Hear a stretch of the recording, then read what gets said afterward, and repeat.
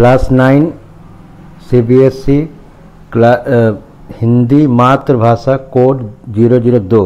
इसके हम लोग समझेंगे क्या है इस बार का सिलेबस 2021-22 का। इसमें क्या क्या किस तरीके से पढ़ना है। तो यहाँ पर शुरुआत में इंट्रोडक्शन दिया गया है कि किस, क्या इस पाठ्यक्रम के अध्ययन से विद्यार्थी अब क्या समझेंगे, उसको क्या रुचि रखना है दैनिक व्यवहार में क्या करना है। फिर इसको मातृभाषा में हिंदी विश्लेषण का उद्देश्य दिया गया है।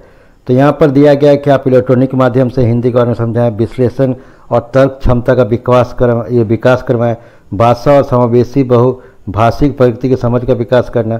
फिर शिक्षण युक्तियाँ दिया हुआ है कि इसमें क्या क्या करना है। फिर इंटरनेट असेस जो इंटरनल असेसमेंट है, उसके बारे में यहाँ पर दिया है कि आपको क्या क्या करना है।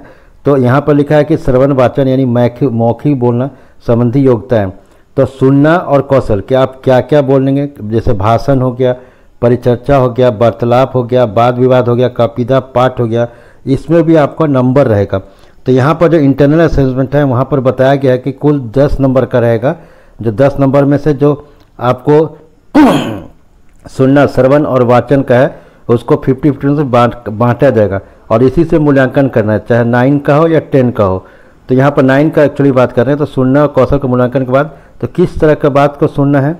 तो यहाँ पर जो कौशल का मूल्यांकन क्या है, श्रवण सुनने के लिए विद्यार्थियों में परिचित संदर्भों में प्रयुक्त शब्दों और पदों की समझने की समान योग्यता होनी चाहिए। फिर इस तरह से इसको आप पढ़ेंगे तो इसमें मैंने एक कहा है कि एक अच्छी तरीके से बोलना और बोलने वाला, सुनने वाला होना चाहिए, श्रवण और वाचना होना चाहिए। फिर इसमें टिप्पणी दिया है कि परीक्षण से पूर्व परीक्षार्थियों को तैयारी के लिए कुछ समय दिया जाए। विवरणात्मक भाषा में वर्तमान काल का प्रयोग अपेक्षित है। निर्धारित विषय परिस्थितियों में के अनुभव से संसार के हो, जैसे कोई चुटकुला, हास प्रसंग सुनना, इस तरह भी उसमें आपको शामिल किया जा सकता है।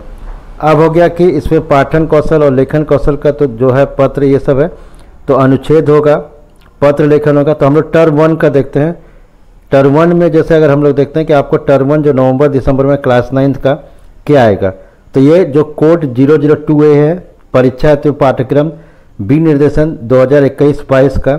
तो पहले एक जो है, अपठित गद्यांश होगा, जिसमें पाँच क्वेश्चन पूछा जाएगा, वन इंटू फाइव क्वेश्चन फिर अपठित गद्यांश होगा, जिसमें बने कि यहाँ ये कव्यांश होगा, ये एक एक क्वेश्चन नंबर जो ऑब्जेक्टिव है मल्टीपल चॉइस क्वेश्चन यानी पाँच नंबर का अपठित गद्यांश और अपठित कव्यांश।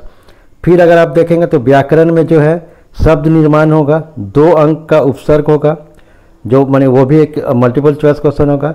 फिर प्रत्यय दो अंक का और चार अंक का समास। फिर अर्थ की दृष्टि में वाक्य भेद चार अंक। तो यहाँ देख रहे हैं पूरा सोलह नंबर का ग्रामर है जो कि एक एक में आएगा और इस इसको, इस सिलेबस को समझ लीजिए आप। पाठ्यक्रम से गद्य पद से, यानी छितीस जो होगा, निर्धारित पद गद्य कौन कौन पाठ है? तो यहाँ पर एक एक वहाँ पर भी आएगा, जैसे गद्यांश आएगा तो इसमें एक एक क्वेश्चन का पाँच नंबर का। फिर छितीस से जो मैंने यहाँ पर क्षमता के अनुसार उचित चिंतन के बारे में तो एक एक नंबर का दो क्वेश्चन होगा, फिर काव्य पाठ से जो आएगा उसमें भी ठीक इसी तरह का होगा एक एक नंबर का पाँच क्वेश्चन जिसको गद्यांश कहेंगे, काव्यांश में, और यहाँ पर पाँच होगा।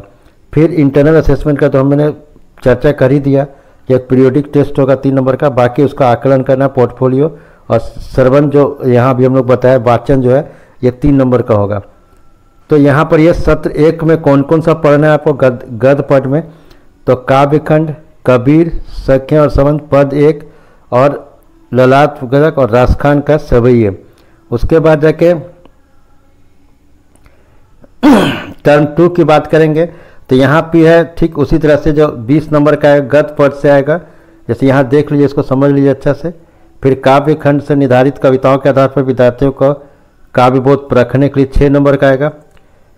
फिर छः नंबर का कृतिका से निर्धारित पाठों के आधार पर दो प्रश्न पूछे जाएँगे। लेखन आएगा सेकंड टर्म में, लेखन देख लीजिए किस किस विषय पर लेखन आएगा अनुच्छेद आएगा डेढ़ सौ शब्दों में। फिर उसके बाद है कि आपको औपचारिक और अनौपचारिक विषय पर केंद्रित एक विषय विषय पर पत्र लिखना होगा।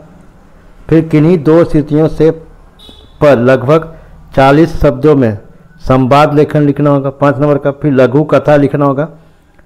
फिर ये भी आंतरिक जो है इंटरनल इंटरनेशनल हो गया। तो इस तरह से ये क्लास नाइन का जो है सारा खत्म होता है। हिंदी कोर्स ए का ज़ीरो ज़ीरो टू ए का। Thank you